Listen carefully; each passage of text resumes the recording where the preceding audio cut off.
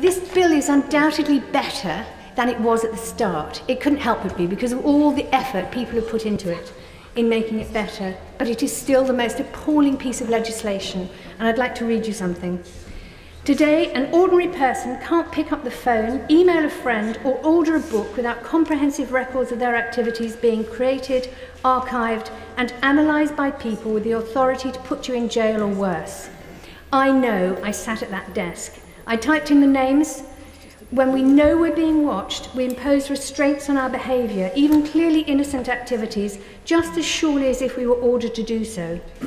the mass surveillance systems of today, systems that preemptively automate the indiscriminate seizure of a machine that simply cannot operate without violating our liberty on the broadest scale, and it permits governments to go back and scrutinise every decision you've ever made, every friend you've ever spoken to, and derive suspicion from an innocent life.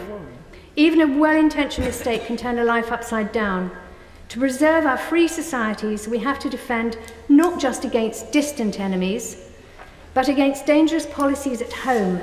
If we allow scarce resources to be squandered on surveillance programs that violate the very rights they purport to defend, we haven't protected our liberty at all. We have paid to lose it.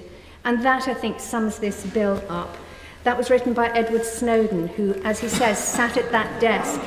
And it was written by Liberty. And I think that this is a piece of um, would the noble lady accept that actually Edward Snowden, by releasing millions, millions of bits of classified material, has actually made all of us less safe than we were. That is an absolute certain fact that he has done that, and it's hardly someone to quote as a great and noble person.